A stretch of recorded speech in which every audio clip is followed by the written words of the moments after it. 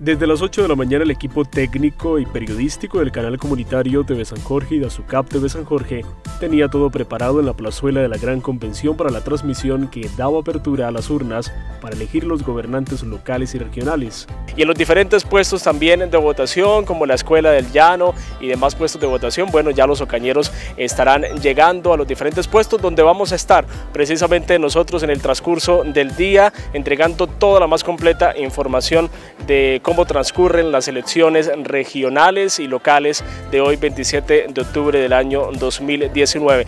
Los ocañeros muy puntuales llegaron a las urnas a votar y las autoridades locales hicieron presencia en los puestos de votación junto con las autoridades civiles y militares para garantizar la seguridad de la ciudadanía.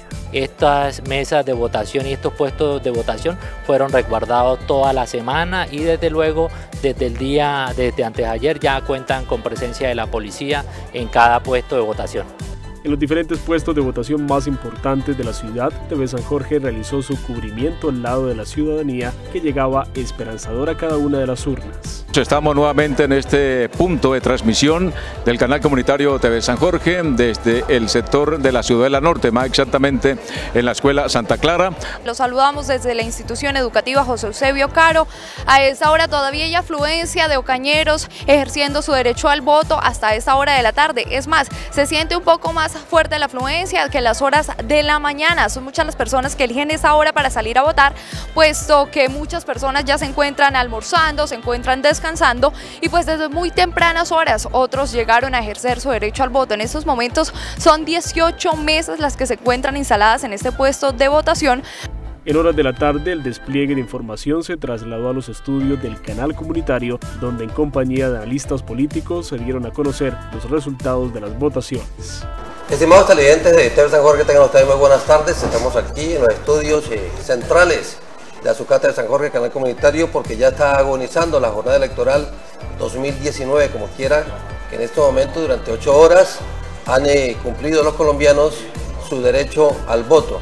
Mucha atención, Ocaña 7.96% de mesas informadas, Samir Casadiego 45.31%, 842 votos, Wilmer Guerrero 28.63%, 532 votos.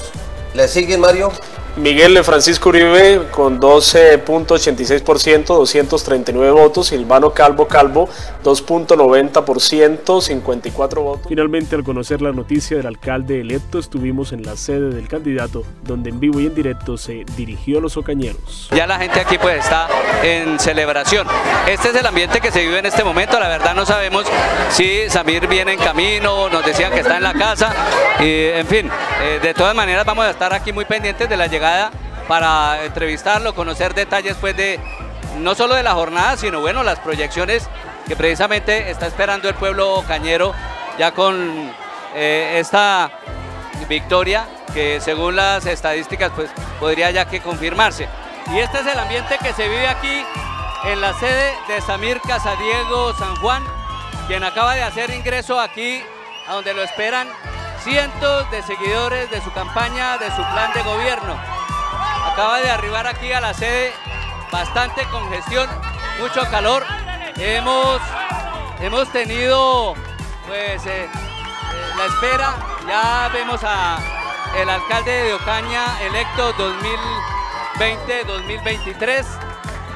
Desde hace rato pues nos decía que se estaba aproximando, que ya venía, pues bueno, aquí ya la gente lo tiene y este es el ambiente que se está viviendo aquí en la sede de campaña de Samir Casadiego y obviamente vamos a tratar de una vez de recibirlo y tomar las impresiones de Samir Casadiego. Felicitarlos, felicitarlos. Todos tenemos esa ilusión de llegar, pero bueno, en esta oportunidad los ocañeros se enamoraron de esta propuesta ciudadana y la pudimos sacar adelante. ¿Qué esperaba esta diferencia de votos? Sí pensábamos que íbamos a ganar por una buena diferencia, pero no creíamos que más de 22 mil ocañeros fueran a decirle sí a Samir Casadiego. ¿Cuál es el compromiso que hace ahora con los ocañeros, incluso con los que no votaron, obviamente? Claro, es un compromiso con toda Ocaña. Al alcalde no lo eligen para los, con los que votaron por él.